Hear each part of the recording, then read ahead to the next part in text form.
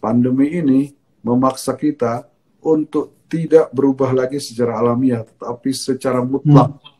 Tidak memakai time frame, tetapi harus. Kita tiba-tiba yeah. diharuskan berubah semuanya dengan menggunakan alat yang sebut kemudian kita sebut dengan digitalisasi. Ini menjadi tonggak yang ternyata memaksa kita masuk ke dalam sebuah era dalam dua tahun ini.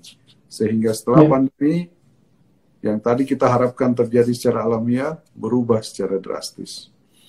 Menurut Ma Economic Forum, World Economic Forum di Davos tahun 2019, 2015, kurang lebih akan ada 8.500 pekerjaan yang hilang hmm. sampai tahun 2025. Tetapi akan muncul lebih banyak lagi pekerjaan baru hmm. Yang kita tidak belum tahu pekerjaan itu apa. Tidak ada yang tahu sebelumnya bahwa konten kreator itu menjadi pekerjaan. Tidak ada yang tahu hmm. satu dua tahun sebelumnya bahwa youtuber itu menjadi pekerjaan. Yeah digital marketing itu baru muncul 2-3 tahun terakhir. Kemudian eh, SEO juga baru muncul satu tahun dua tahun hmm. terakhir. Dan seterusnya. Bahkan pekerjaan-pekerjaan baru yang lebih sophisticated akan muncul yang mungkin kita tidak tahu pekerjaan apa, tapi kita hmm. bisa kerjakan. Artinya apa? Dalam konteks digitalisasi ini, yang paling penting bukan perubahannya, tetapi kesiapan kita dalam menghadapi perubahan itu gitu. Yang bertahan nanti bukan yang paling kuat, bukan yang paling pintar, bukan yang paling besar, bukan yang paling cerdas, tetapi yang paling siap terhadap perubahan. Generasi generasi yang adaptif ya. Yang adaptif.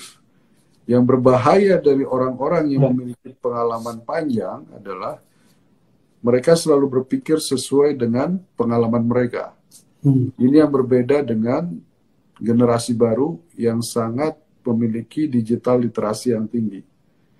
Mereka tidak memiliki pengalaman, tapi hmm. justru mereka menghadirkan hal-hal yang baru yang belum terpikirkan ya. oleh konteks masa lalu, bahkan kadang-kadang menghadirkan masa depan ke hari ini. Jadi digital literasi is a must. Ya. Kemampuan untuk berubah is a must, wajib.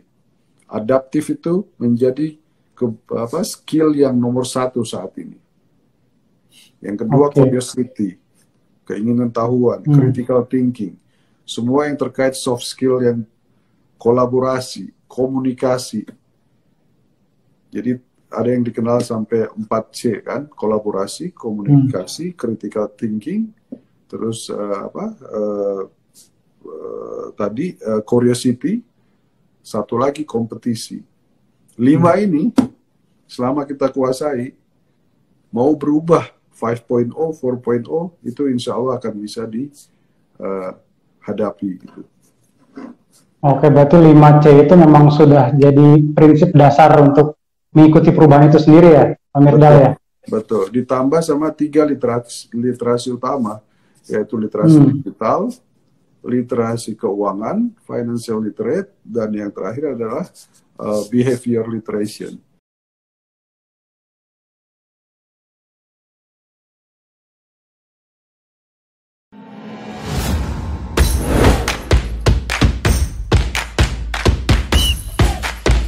Bubur ayam kalau diaduk-aduk jadi cair. Seriously, diaduk kayaknya ya.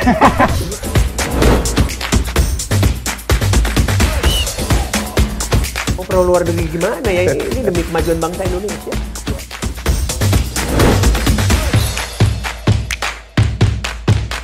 Isu kebangkitan uh, PKI ini uh, dihentikan.